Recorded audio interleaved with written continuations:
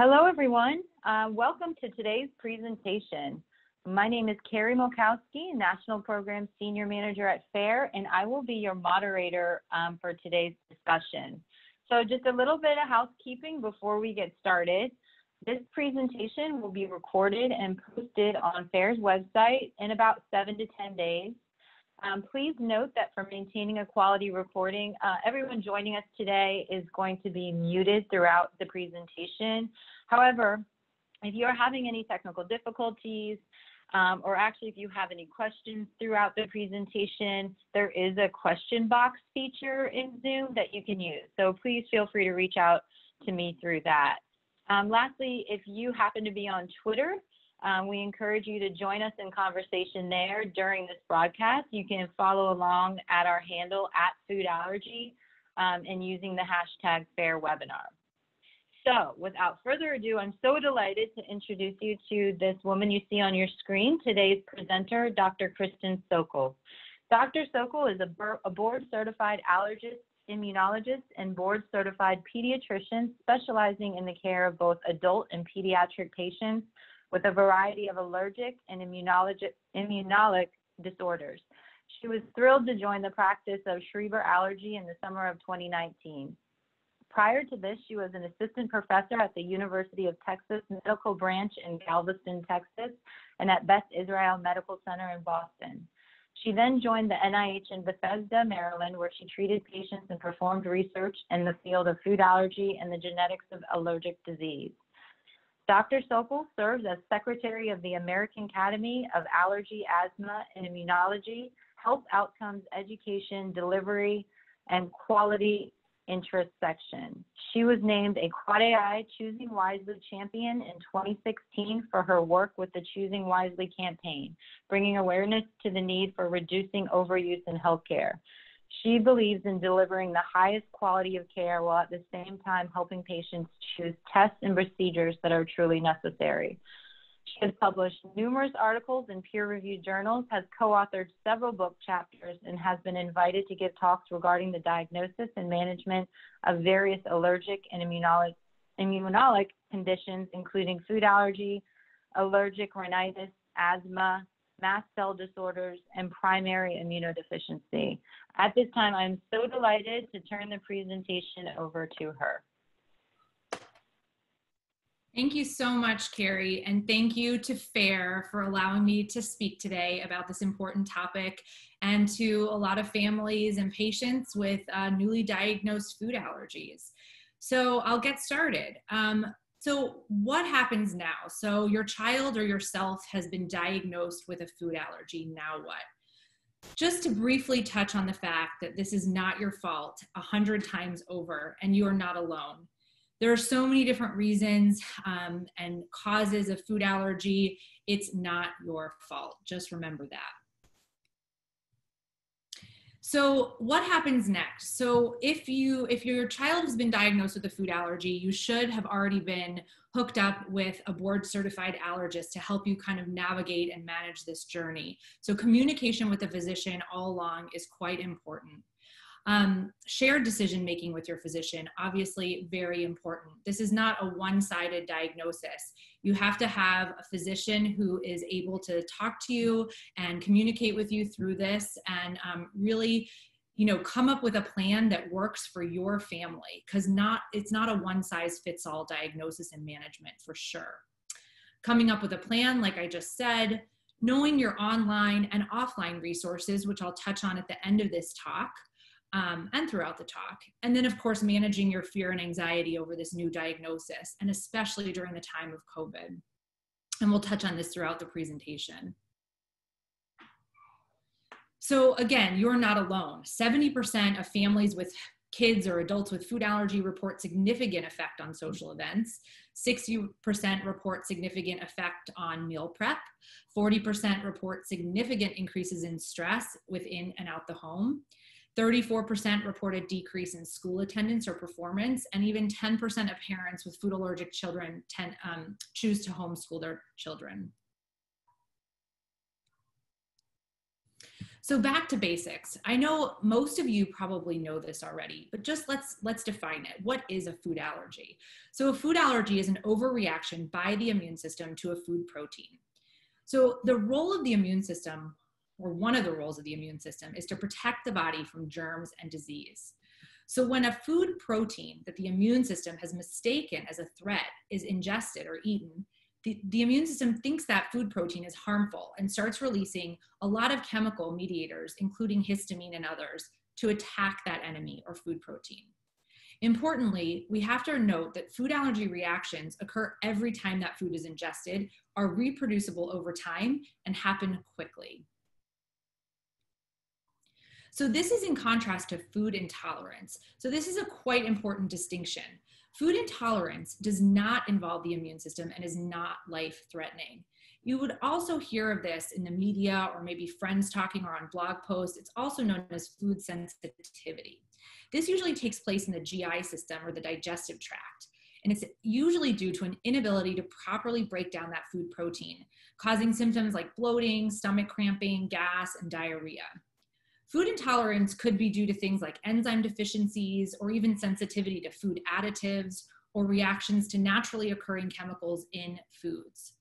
And in contrast to food allergy, often people with food intolerance can eat small amounts of the food without causing problems. So again, food allergy, in contrast to food intolerance, does involve the immune system and can cause a serious or life-threatening reaction.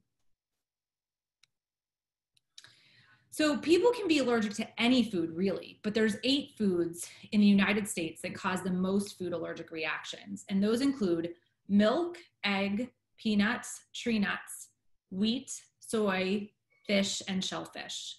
Now I put sesame on this slide because sesame is not right now um, you know, it's not considered one of the top allergens um, by the FDA. However, studies have shown that it is quite common and perhaps the ninth most common um, allergen in the United States, and that's important to note.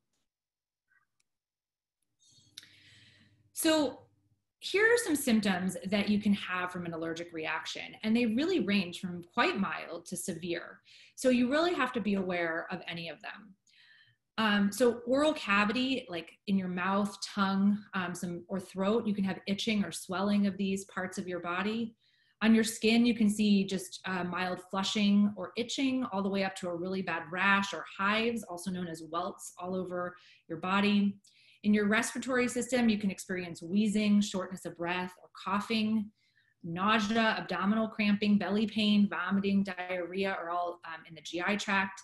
And then the most severe symptoms would involve the cardiovascular system, where there's um, an increase in a heart rate or decrease in blood pressure, and then which leads to fainting.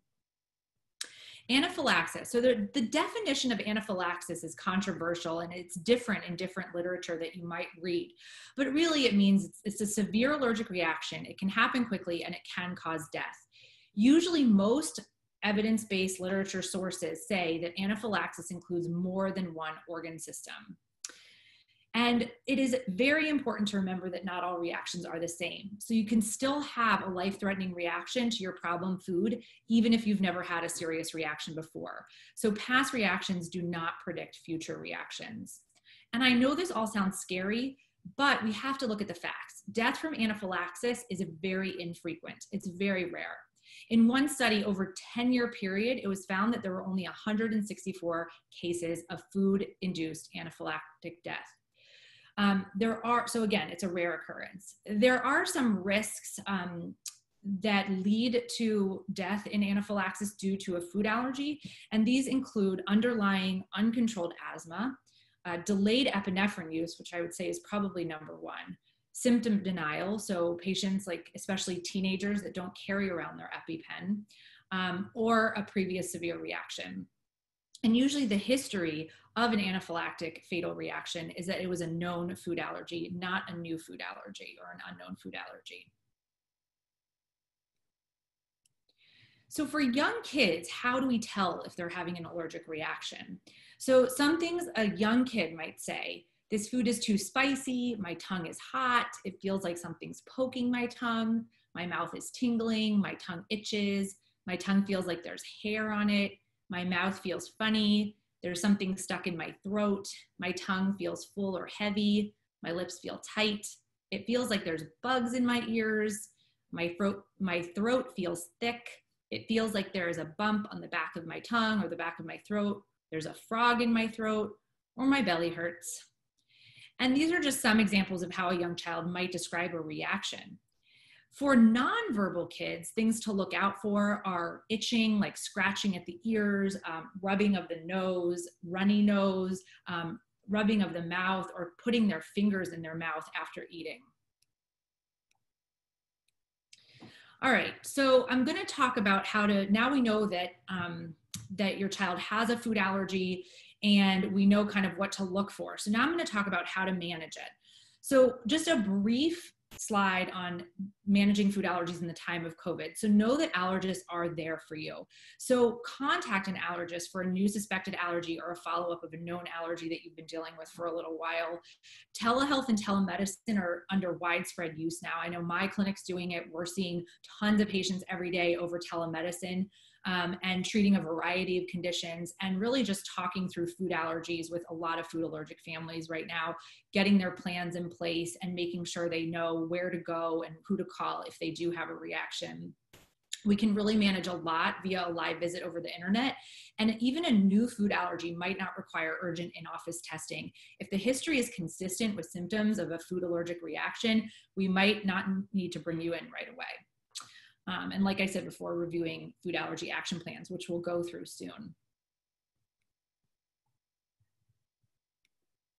So managing food allergies. So these are kind of some of the things I'll, I'll touch on in the next uh, few slides.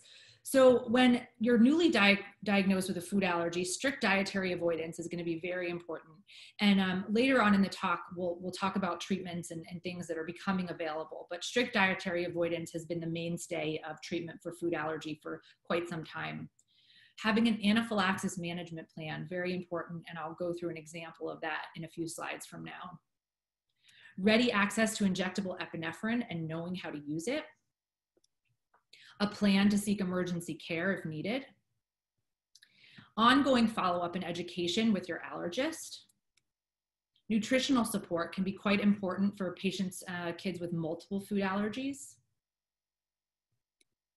And then a comprehensive education plan for not only the patient, um, if they are verbal or if they can understand what's going on with their food allergy, but their family and their caretakers their, and their school and their daycare eventually. So let's get into avoidance of food. So this is what we're told, you know, avoid, avoid, avoid. That's the most important. So really it is important to read every label every single time. Even if you're fully, you know, aware of something that doesn't have an allergen, still read the label just to be safe and just to get in that habit. And then be aware of cross contact. So cross contact happens when one food comes into contact with another food and then their proteins mix together. So as a result, each food then contains a small amount of the other food. And this is, I know you all know this, but these amounts can be so small that they usually can't be seen. And even a tiny amount of food protein has caused, has caused reactions in people with food allergies. But the term cross contact is fairly new. You might have heard this as called cross contamination. So there's a difference between direct and indirect cross contact. Direct cross contact is when an allergen comes into direct contact with a food. Um, for example, peeling cheese off of a cheeseburger if you're dairy allergic, or picking shrimp out of a salad if you're seafood allergic. Um, and then indirect cross contact is an, that the allergen was never directly applied. So, like using a spatula to flip a cheeseburger or not properly cleaning a knife after um, cutting a peanut butter and jelly sandwich, for example. So using utensils, cutting boards, and pans that have been thoroughly washed with soap and water is really important. Um, in the home, consider using separate utensils and dishes for making and serving safe foods. Some families choose different colors to ident identify safe kitchen tools. Um, and it, obviously, if you're making several foods for several family members, cooking the allergy safe foods first and keeping the safe foods covered and away from other foods that may splatter Washing hands with soap and water before touching anything else if you have handled a food allergen is very important. And it is interesting to note that soap and water or commercial cleaning wipes will remove a food allergen, but sanitizing gels or water alone will not remove a food allergen. So now going on to, um, you know, continuation of avoiding of foods, but going on to what is this FALCPA, FALCPA law? It um, stands for Food Allergy Labeling and Consumer Protection Act. So this is a law that requires food labels in the United States show in plain English when a major food allergen or any ingredient that contains protein from a major food allergen is added as an ingredient into any pre-packaged food. So that's highlighted because that's important. It's in pre-packaged foods. So this is this law applies to anything imported, which is sold in the United States, or domestic, which means it's made in the United States. So the foods that make the FALCPA list as of now are milk, wheat, egg, peanuts, tree nuts, fish, crustacean shellfish, and soy. So this includes the top eight minus the mollusk shellfish, which is interesting. It also, again, does not include sesame right now. So manufacturers have two options to indicate a major food allergen on product labels. The first option is to, as I, you see in example one, is to list the allergen in parentheses after the ingredient. The second option, as an example two, is to list the allergen at the end of the ingredient list. And often this will contain, will have a statement that says contains in bold. So the contain statement, interestingly, is only one of two options that they have, that, that manufacturers have for listing the presence of a major food allergen and is not required. So this is something we're used to doing when we look at labels in the grocery store. We our eyes kind of naturally go to the end of the ingredients list to look for that contains label, but just remember that it could be embedded, the, the allergens could be embedded within the ingredient list and not within a contains label. So a manufacturer does not have to warn you that there may be unintentional traces of an allergen due to cross contact during processing, but most allergists recommend avoiding these products. So precautionary warnings or advisory statements like may contain or process in a facility with are surprisingly voluntary. Also, we have to note, remember that FALCPA, that law that we were talking about before, does not apply to fresh meats, fresh fruits and vegetables, restaurant foods, even the ones placed in a wrapper or carry-out box for individual customer order. And this is the last and interesting one. FALCPA does not apply to highly refined oils, even if they are derived from a major allergen such as peanut or tree nut. Whoops. This is because that um, because refined oil, like such as refined peanut oil, is generally considered safe for most peanut allergic or allergic persons. This is thought to be due to the fact that most, if not all, of the protein is removed during the extraction process. There have been studies into whether reactions occur in these peanut sensitized individuals with exposure to refined peanut oil versus crude peanut oil. Um, and those who participated in one study did not have a reaction to peanut oil, but 10% to the refined peanut oil, but 10% had a reaction to the crude peanut oil. And other studies have been conflicting with this, showing that a small number of peanut allergic individuals may have reactions to refined oils. And this could be due to cross contact or cross contamination with the actual peanut itself. So if you have any questions about this, or if your child is allergic to peanut or another um, you know, allergen that's in refined oils, talk to your allergist about this. Okay, so going on with managing your food allergies. So in the home, what can you do? So, talking about siblings for a second, a survey was done in siblings of those kids with food allergies and revealed that food allergies are obviously a family disease and they impact each member of the family in different ways. Siblings were impacted with regards to allergen avoidance, exercise caution around the sibling, label checking and helping with epinephrine, worrying about the sibling, and sometimes receiving less attention because of the sibling with food allergy. So, these are all things that we have to note in siblings one easy way in the kitchen to help with uh, siblings with food allergies is use of color coding or labels.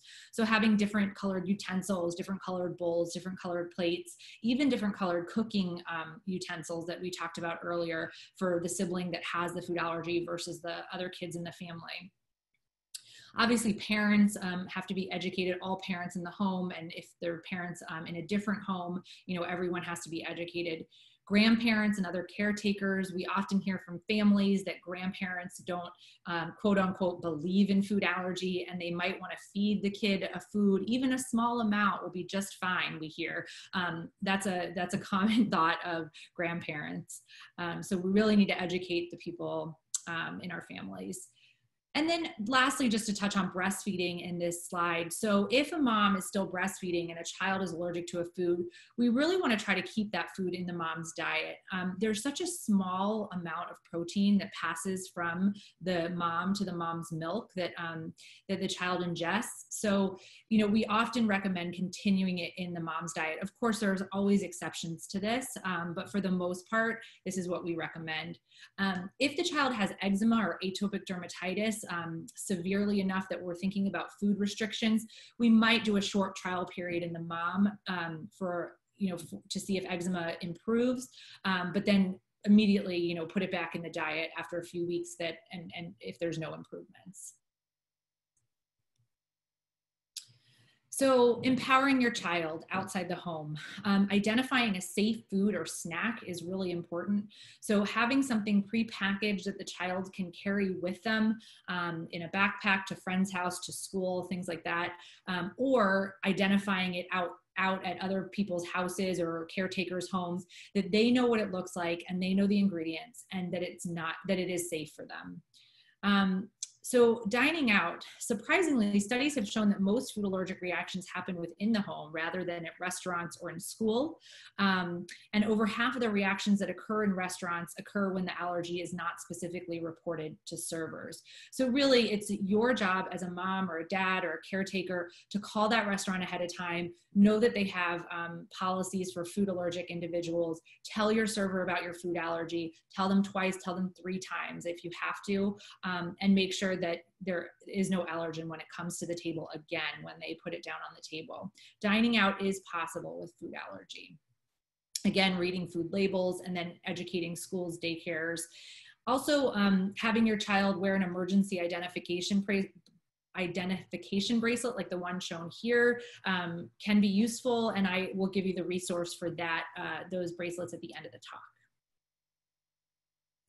All right, so here's that anaphylaxis or allergy action plan that I mentioned before. So this comes directly from the FARE website. Um, we give this to every single uh, food allergic patient, no matter how mild or severe in our clinic.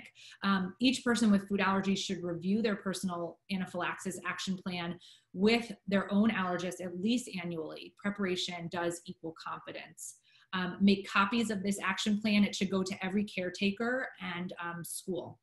Um, I, I also say keep it with your medication pack. So keep a copy with the medication pack, and I'll talk about medication packs um, in the next slide. Oh, sorry, just to go through, right, just to go through the allergy action plan, it does have a lot of useful information for the person looking at it and, and taking care of the child with food allergy. So it has all their demographics at the top with their name, their date of birth, and what they're allergic to, and their weight. Um, here it goes through mild versus severe symptoms. So when to give epinephrine and when maybe you can just give something like Benadryl or cetirizine. Um, and then here are the medications and the doses for that particular child for his or her weight. All right, so managing food allergies, how to treat or treating a reaction. So we always talk about antihistamines versus epinephrine, and we'll get into this a little bit in the next slide too, but epinephrine really is the gold standard of treatment for food allergy. Um, maybe some mild reactions can be treated with antihistamines, maybe some mild few hives, maybe some itching, um, runny nose, but really epi is the gold standard. We always wanna have both on hand though, so an antihistamine and epi. I often tell my patients to have three labeled medication packs, and uh, um, depicted are some examples that you can get on the web and, and some other sources I'll tell you at the end of the talk. But I always want, I always like to say three. So keep one for home in an easily accessible location, um, one for on the go, so you can easily switch from bag to bag. So diaper bags, purses, backpacks, etc.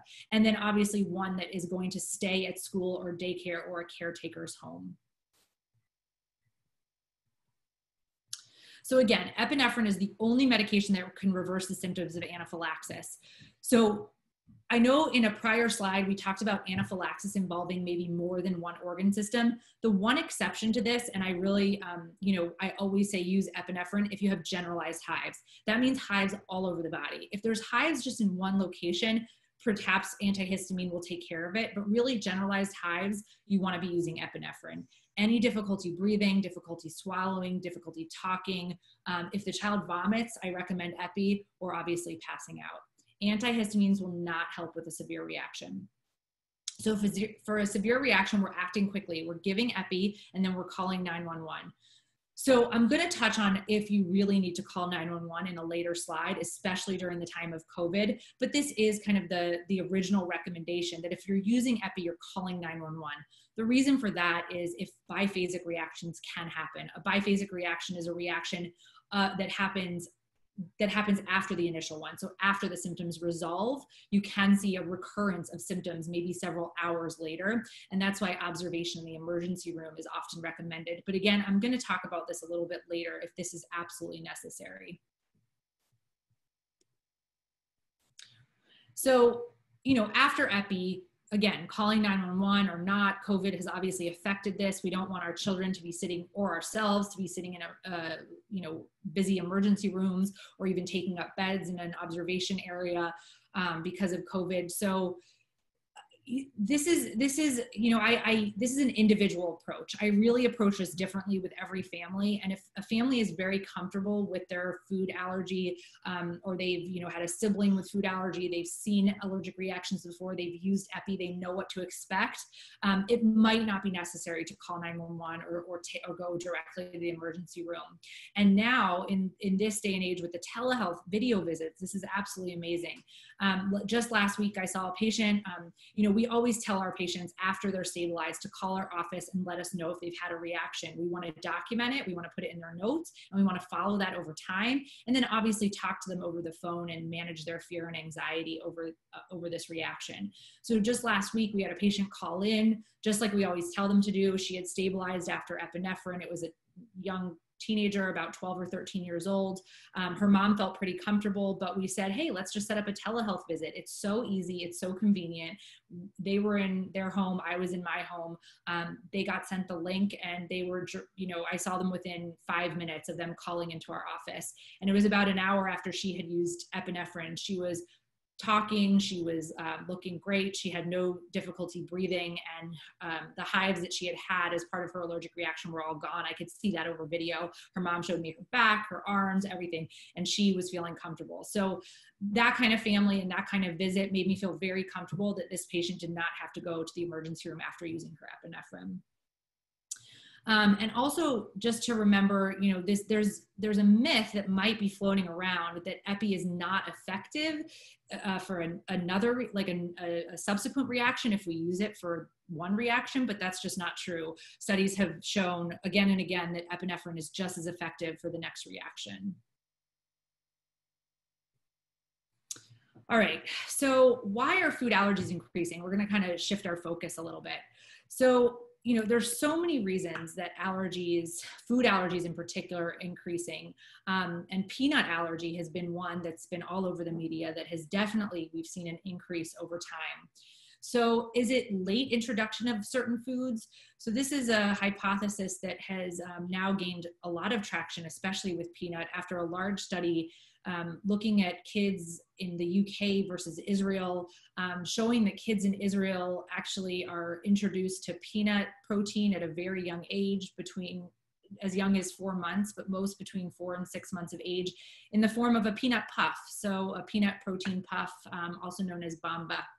Um, and so, these kids you know are eating it on a regular basis. And then you know a couple years later studies have shown that these kids actually don't have food allergy or don't have peanut allergy. And, and so is it that late introduction of certain foods in the united states have led to an increase in in allergy? Perhaps.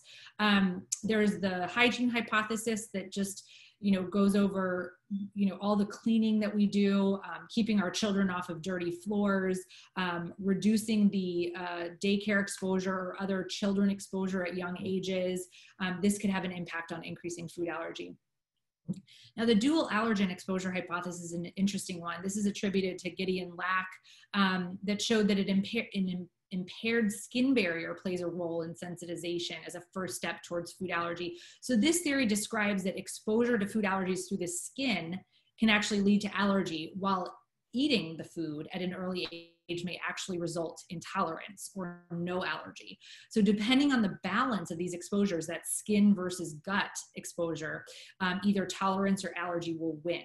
uh, quote unquote.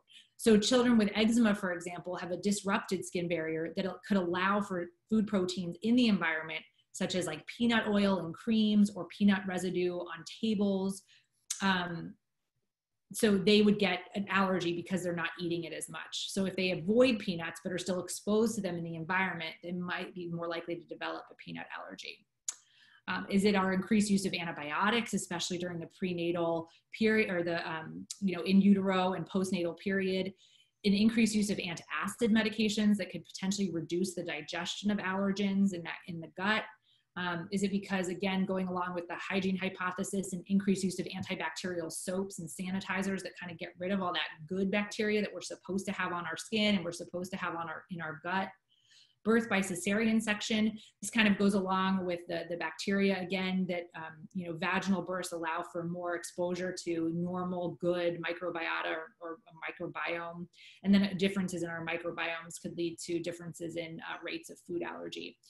So again, it's probably not one of these hypotheses, probably a combination of them. And we really, there's so much research going into all of this right now. We don't have an answer, but these are some thoughts.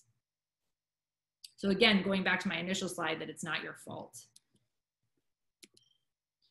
So treatment options for food allergies. So now we've, you know, we've gone through a bit of management, you know, we, we, we tell patients to avoid, avoid, avoid, but now there are other options um, for food allergy management.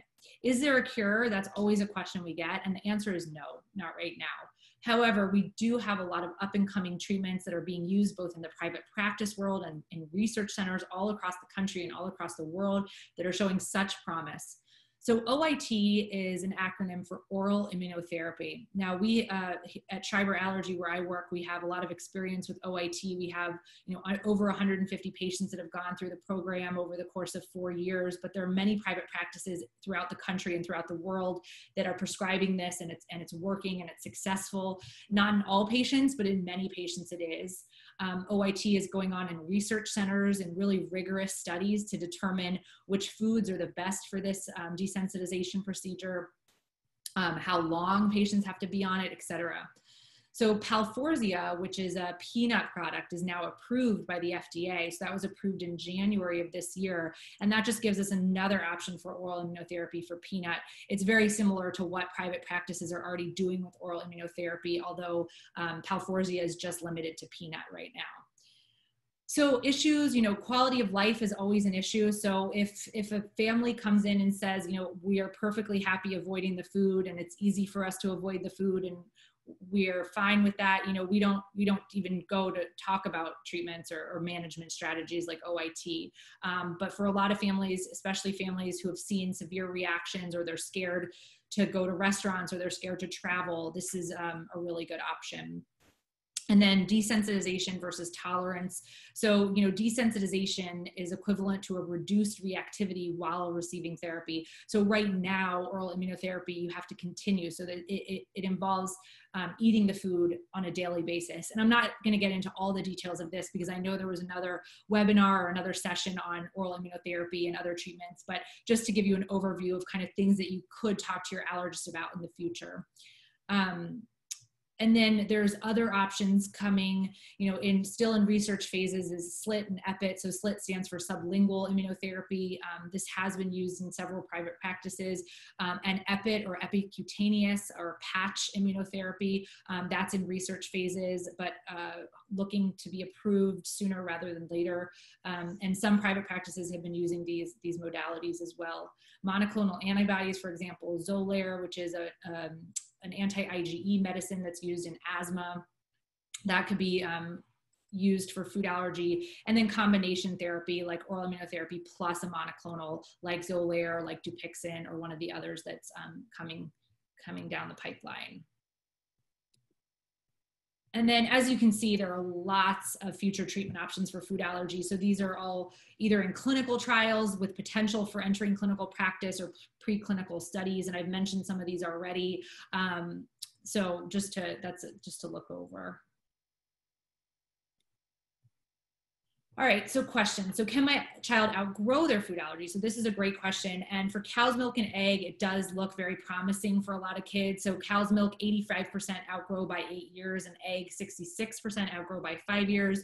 so you know really keeping that um, communication with your physician really keeping that relationship with your allergist is so important they can follow you over time track you retest um, perhaps perform an oral food challenge if there's a question at all if you're if the child is outgrowing this because the sooner we can get the food in them the better.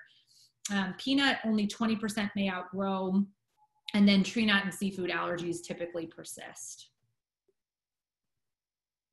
So can we prevent food allergy? So if you're looking at you know younger siblings or future pregnancies um, the, you know there's not again just as in there's so much research going into what causes food allergy there's so much research going into like how we can prevent food allergy. So there is some emerging evidence that suggests you know and going back to that hygiene hypothesis that less use of drying soaps and detergents um, and more use of non-allergic moisturizers can optimize the early life skin barrier. So going back also going back to that dual allergen exposure hypothesis um, and then solid introductions, which we talked about, late introduction of foods could potentially be um, kind of a cause or an, uh, an aggravator of um, increased food allergies, especially in this country. So infants should be introduced to solids around four to six months, irrespective of family history. So studies have shown that allergenic solids do not need to be avoided by infants when solids are introduced, and they do not need to be avoided by mothers when breastfeeding.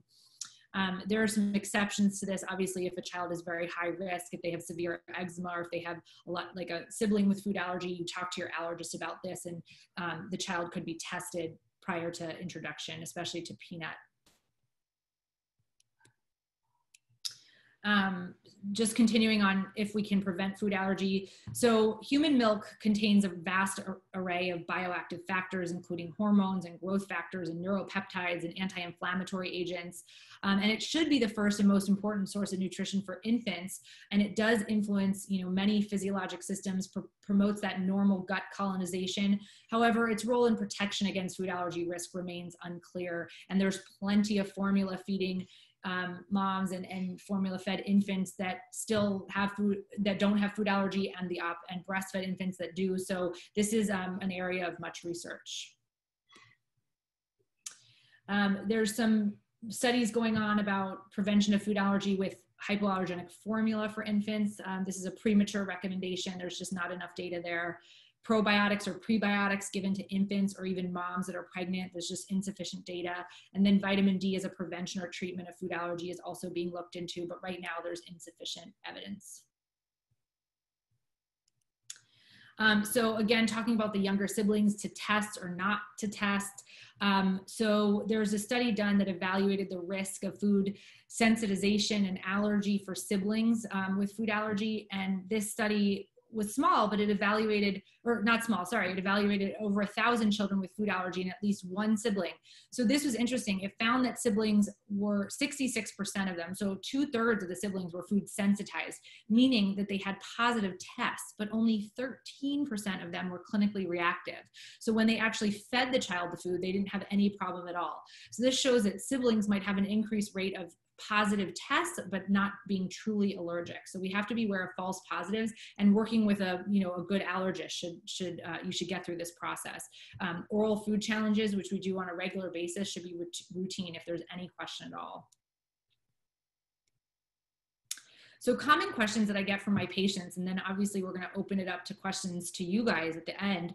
Um, but these are some common questions that I get from my patients all the time. So daycare and school, do I need to move my child to a nut-free environment? So this is, you know, a question that obviously comes up for nut allergic kids and peanut allergic kids. You know, the, the, there's a lot of controversy over this subject because the school systems do it. They remove nuts, um, especially private schools. They're removing nuts, nut-free environments. You see that everywhere. However, the studies have shown that it really doesn't matter. Um, what matters the most is education. So really educating the school, the nurses, the teachers, um, whoever's going to be around your child. That's the most important thing. Um, there was more reactions. In, a, in one of the studies there was more reactions in nut-free schools than in non-nut-free schools because in the nut-free schools they almost have um, a sense of you know they have a sense that things are going to be okay because there's no nuts but that's just not true because children still could bring in nuts they could um, you know they parents forget when they pack lunches etc so there were more reactions in nut-free schools than um, in non-nut-free schools. Perhaps having nut-free tables is a good idea, and there's had been some studies looking at that as well. But really, it all comes down to education flying with food allergies. So, you know, this is obviously is an individual decision and um, talking to an allergist is very helpful, but flying ha- is a, there's a very low risk of having a reaction to aerosol allergen in planes. And this is kind of a myth that's floated around that you can have a severe reaction if you just breathe in um, a powder or a dust of the allergen. And this is just not true. Um, due to the potential risk from the dust like if a child you know touches it and then puts it in their mouth obviously that's higher risk because you're ingesting it. So it is recommended to wipe the seats and the trays down on airline on airplanes um, but it shouldn't prevent you from flying if you're just educated and aware even telling your flight attendants and, and maybe even the pilot. Um, this is a question often can my child get a flu shot if he or she is, is allergic to eggs? And the answer is almost overwhelmingly yes. Um, you can do it in an allergist or pediatrician's office if there's question, but the, um, there's such little amount of egg protein in flu shots that this is not a problem. Um, biphasic reactions and do I really have to go to the hospital if I use my EPI? I think we already touched on this. Um, lastly, the cross reactivity of allergens. So if my child is allergic to X, are they, do I have to avoid why. Um, and, you know, I'm just going to go to my next um, depiction because this really shows the if allergic to and then the risk of a reaction of at least one of these others. So I, the peanut legume question I get all the time, and there's such a low risk of reaction. I don't say to avoid if they've never had a problem um, before, you know, peas, lentils, beans, etc um, tree nut and other tree nuts obviously is more um, there's more of a risk of a cross reactivity so with peanut allergic kids that have never had tree nuts before, you know, it's a decision that's made between the allergist and the family, but often we will, you know, perform skin testing prior to introduction and work through those, um, perhaps perform some oral food challenges in, this, in the office when the child is young to really determine true allergy or not. So some online great resources for patients, for, um, for the kids themselves, for the families, for the grandparents, for schools. Um, obviously the Food Allergy Research and Education website, um, Kids with Food Allergy website, the American Academy of Allergy, Asthma and Immunology website, the American College of Allergy, Asthma and Immunology website. Allermates is um, one of the websites that I featured throughout the presentation with those food allergy bracelets and the medication cases. They also have activity books for younger kids. Um, Living Confidently with Food Allergy is a website that's nice. Um, the Nationwide Children's Hospital has an allergy and asthma blog that has lots of good information as well. And offline resources really, really rely on your allergist, your physician, um, and your educated support system. I put that in parentheses because without being educated, you really shouldn't be reading, you know, blogs and, and things that you don't know uh, where, where the information is coming from. Um, and then FARE, you know, just a plug for their live events. They're great, like the walks and the conferences and the summits. You can get so much information out of. A lot of physicians that are doing research in all these areas that I talked about are visiting these conferences and summits and have such good information that you can talk to them one on one. And also, you know, I didn't mention going back to the American Academy of Allergy and Asthma and Immunology, the QuadAI. They have um, a member. Um, they have a website, a, a, link on their site to find a board certified allergist in your area if you still don't have one, or if you, um, you know, are looking for a, a different opinion. And that is it. I'll open it up to questions. Wonderful. Thank you so much, Dr. Sokol. That was that was so informative, and we did get some questions. So let's jump right in. Okay. okay. So we um, kind of the first question we got in the beginning of the presentation is from an attendee, and she asks or she states that her baby had a skin prick test following a reaction to eggs, which came back positive for milk and tree nuts as well. She states, however, she's never actually eaten either of those foods. Can it be considered an actual allergy yet? Um, she's confused regarding a true diagnosis do you think she needs, you know, oral exposure before it's officially considered an allergy or perhaps a blood test? if you could talk a little bit about that. Sure, that's a great question, and I didn't go so much into diagnosis in this um, in this talk, um, but great question. And obviously, we deal with this on a daily basis in the clinic. So you know, it it comes down to the fact that we really don't want to do a lot of over testing for for foods that have not been ingested yet or for foods that have not caused a reaction. However, when you show up to an allergist office and you're offered skin prick testing for a food that there's been a reaction to, often either the allergist or the patient or the parents or in conjunction with one another, we choose to move forward with further testing. It might be, cut be because of family history, it might be because the child has eczema, it might be because you're worried about a particular food. But in any event, this child in question, um, the parent asked, you know, they had skin testing for other foods. Now, I don't know what the skin tests look like. And, you know, it, this is, again, every patient is individualized and, and, different. But, you know, I would look at the size of the skin test. I would also likely do some blood testing to get more information, just the most data I can get on these foods. Um, nowadays, we have component diagnostics, which kind of break down into different proteins, um, less severe and more severe allergies for some of these foods that she mentioned. Um, just the more data, the better. Um, but really, like ingestion of the food and then watching for reaction is the most important part of the history. So if a child has never ingested the food, and depending on the size of the skin prick test and depending on the um, the level of the IgE in the blood, I would recommend an oral food challenge under the supervision of an allergist if it's favorable. You know, sometimes these levels and sometimes these numbers just come back so high that it's, you know, it's it's likely food allergy and it's just too dangerous to perform an oral food challenge. But for the most part, we can perform oral food challenges and kind of work through these because we want the child to be introduced to as many foods as possible early on. Wonderful, thank you. Um, this is actually, we have Anne, who is a grandparent joining us. So we talked a lot about grandparents. So welcome, Anne. Thanks for joining us. Um, she had a quick question. As grandparents with a grandson with multiple food allergies, is there a specific form that the grandparents, um, you know, maybe should have the parents fill out in lieu that there is an allergic reaction, kind of like what steps they should follow, you know, for medical care? Well, I think going back to that FARE anaphylaxis action plan is really important to have. If the parents kind of want to um, make it more user friendly or more grandparent friendly, they certainly can do that, you know, by copying and pasting into a Word document and kind of make it maybe making, um, you know, stepwise uh, how to treat this, what to look for, et cetera, et cetera.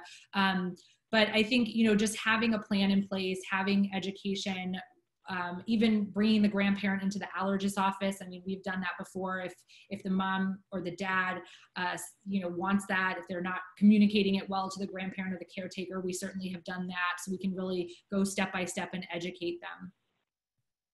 Wonderful, thank you. Um, this next question I think is, great for those newly diagnosed and, and trying to wrap their heads around all of this.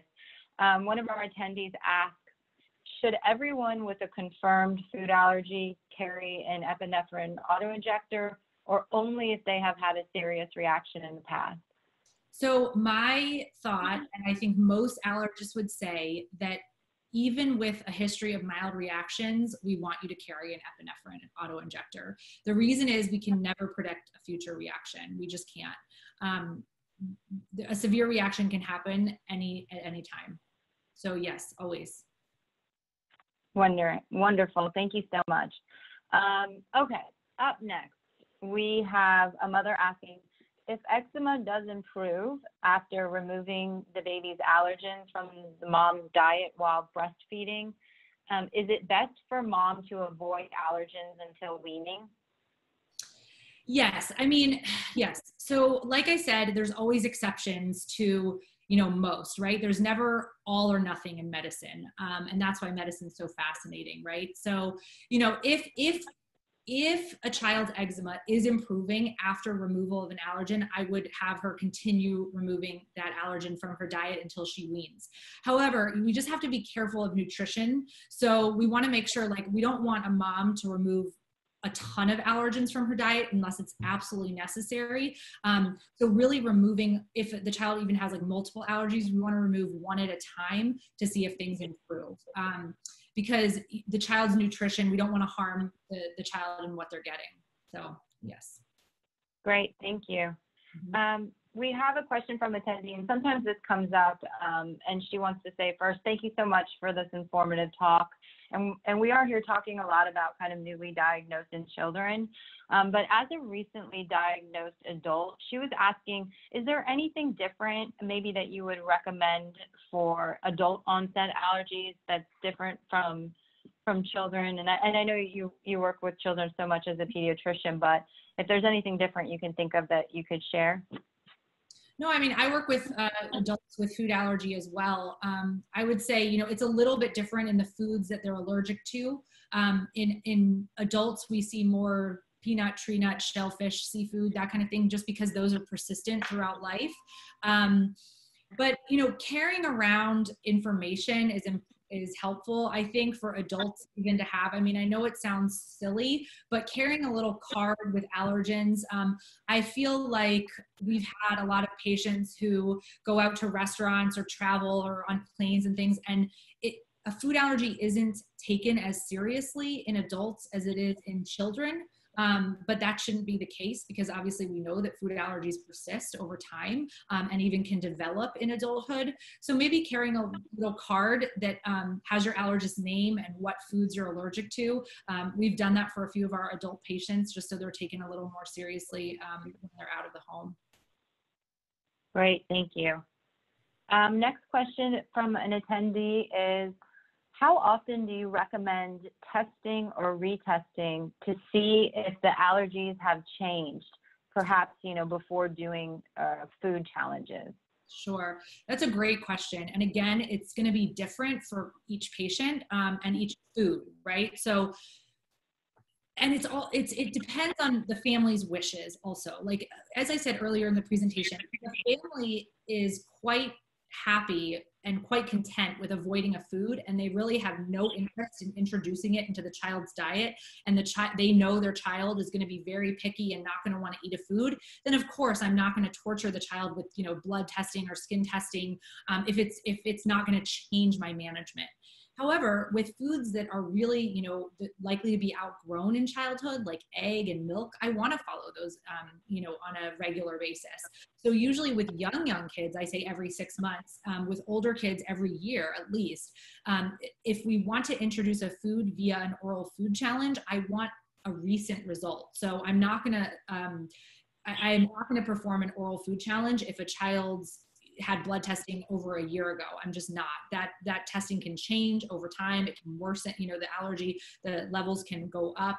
So we want to make sure that we're doing it safely. So we do want recent um, blood or skin testing prior to a food challenge. I hope that answers. Great. Yeah, that's a great answer and, and good advice. Um, I was wondering, can you talk a little bit about FPIES? Someone here was asking about it and, and maybe just kind of generally what that is.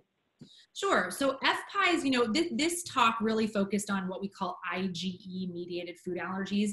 And that's kind of that immediate, um, you know, histamine release, other mediator re- release that causes all those symptoms that I went into. So FPIES is different. FPIES stands for food protein induced enterocolitis syndrome.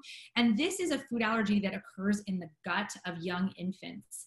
And it's a delayed reaction. So this is everything, you know, throw out the window, everything we know about immediate food reactions. This is a delayed reaction um, and often seen in infants under the age of one, sometimes up to like three, four, five years old, but most patients will grow out of FPIES. So what happens in FPIES is a child will ingest a food and then within a few hours will start having profuse vomiting. Um, the vomiting can be so profuse and that they can, it can lead to dehydration and lethargy.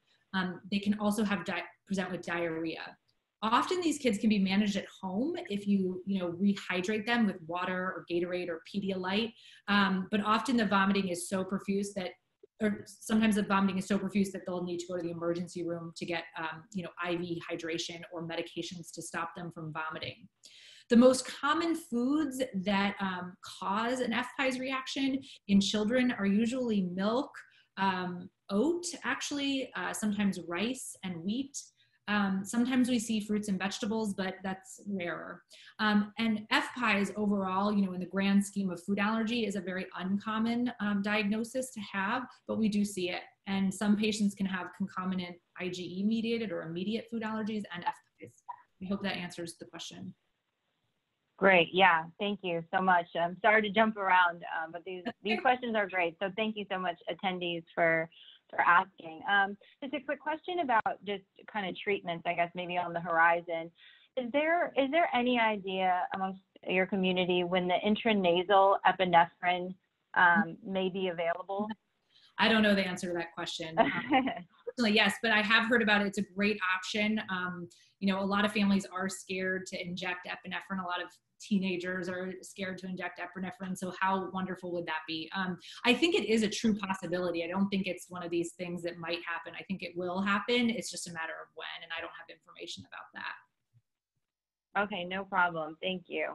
We had a couple of questions come in about schools and and so I just want to ask this one and and also someone asked if I could really mention and encourage the you know the importance of parents especially with the those of a newly diagnosed child to contact you know their school nurse and, and make them aware. Um, we have a nurse here in attendance. Um, she's a nurse in, in a kindergarten through grade two grade second school. Um, and she was saying you know maybe like a best practice how does she know when to administer benadryl and watch and watch over the child or when to Im- immediately administer you know the child's auto injector you know she says perhaps in a situation the child you know was not in distress but maybe showing just a little bit of hives or had a sore throat.